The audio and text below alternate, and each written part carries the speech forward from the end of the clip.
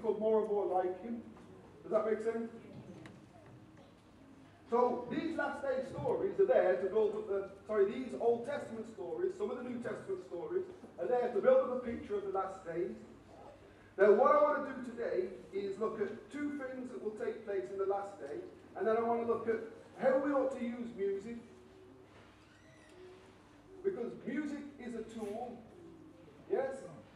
Music is a tool. It's a weapon. Yes? When used correctly, it becomes a weapon. Yes? For good and also for evil. It's a, the devil knows just how powerful music is. But I to, um, before I was in church, go to all of them foolish dance parties and whatever else, there were no words to any of the tunes, but they still moved me emotionally. Because the, the rhythm that you find in, in certain music, it, it, it, almost bypasses the, the conscious mind and plants certain emotions and feelings in the, in the subconscious that creates a mood. You know how someone will say, drop a tune and, and set the mood?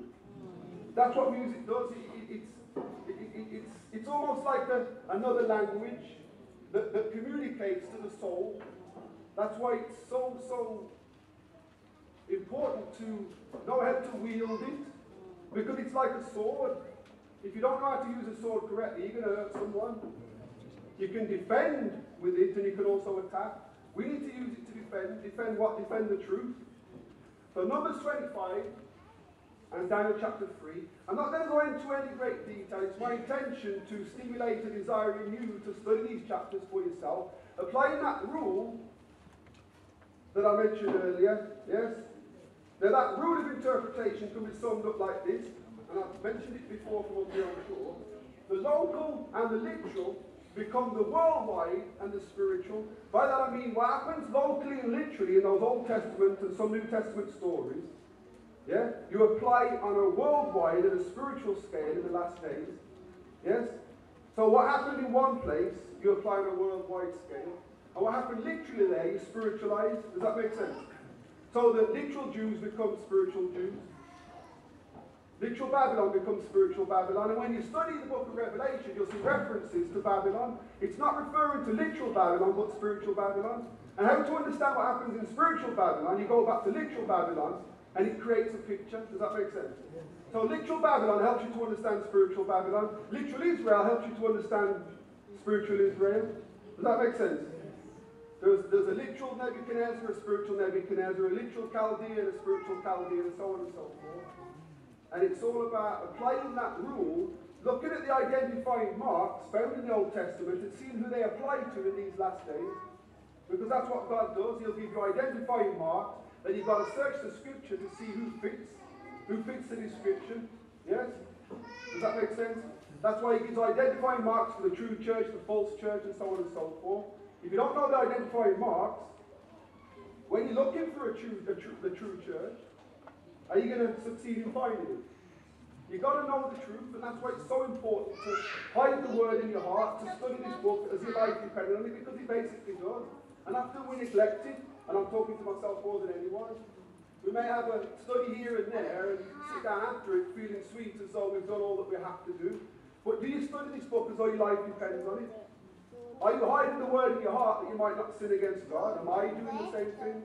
We, some of sadly, hopefully not any of us here, will not realize until it's too late how much of a blessing this book is and will ever be.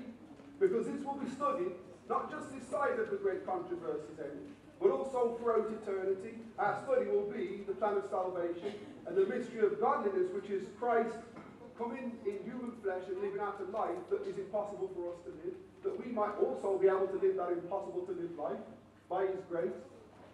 Okay, moving on swiftly. Do you know the story of Numbers 25?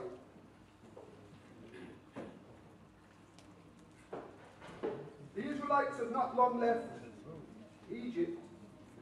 And it doesn't take them, but it takes them around 11 days to get to the Vale of Shittim on the borders of, of, of literal Canaan. Now, let me show you this, this map. You can see that map okay? There's Egypt. got there, you've got the Nile Delta there, you've got the River Nile there, and there is another part of Egypt. There you've got modern day Saudi Arabia. Israel, modern day Israel is up there, you've got Iraq and Iran and all those places just over there. Um, that's where they were headed from, so they had to get from there to there. And it's about an 11 or 12 day journey, yes? 11 or 12 day journey. Is this mic on?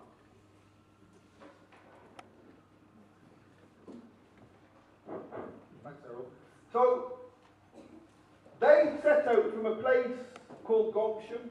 That's where the Israelites were the place that the Israelites were given to live by Pharaoh in the days of Joseph, yes?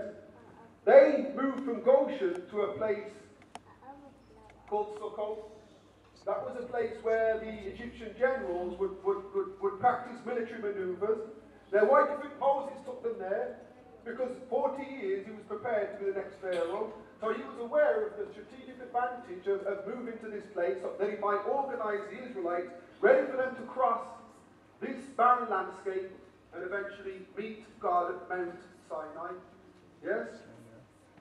They traveled from Sukkot to a beach there on the Gulf of Aqaba, yes? Now, traditionally, they say that they crossed the Red Sea there. That, that's something that was concocted later on, hundreds of years after even Christ was born and died, yes? They crossed the Red Sea from a beach that you can see here from Google Earth, and over the years, there was an ancient river there, and it deposited a lot of silt and sediment on the base of the Gulf of Aqaba. The lighter coloured blue there is actually an underwater bridge that was not too far below the surface of the Red Sea. So that when Moses, by the grace of God, parted the Red Sea, not much of the sea had to be parted, if that makes sense. It's very, very deep either side of that natural bridge. Yes? So they crossed there, and eventually they moved on to a mountain that is now in Saudi Arabia called Jebel El Lawz, or in English, the Mountain of the Law. Yes?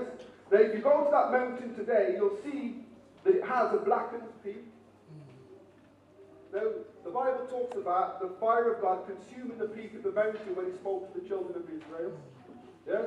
So, from Goshen to Sukkot, to the beach there, over the Red Sea, and eventually after a short journey to Jebel El Lawz.